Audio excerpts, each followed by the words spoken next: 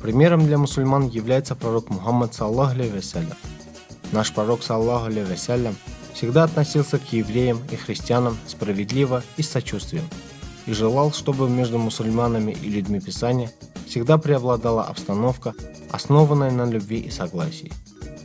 В период жизни пророка Мухаммада, саллаху алейхи и после его смерти был заключен ряд договоров и даны гарантии людям Писания, в которых говорилось, что они вправе жить согласно своим религиям и продолжать свое существование как автономное сообщество.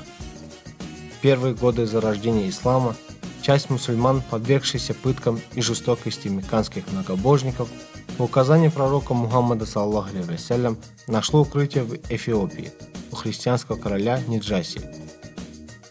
Другая же их часть вместе с пророком Мухаммадом саллаху переселились в Медину и жили вместе с тамошними еврейскими народами. И модель их общественной жизни послужила примером будущему поколению мусульман.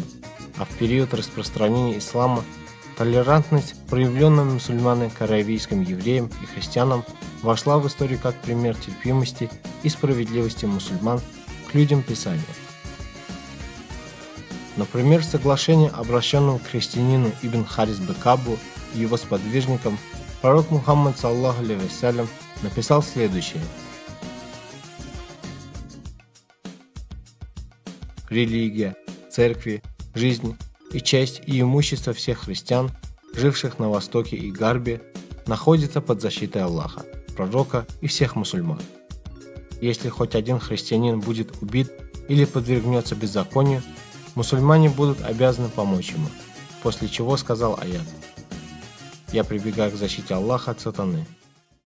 Мы уверовали в то, что не спослано нам, и то, что не спослано вам.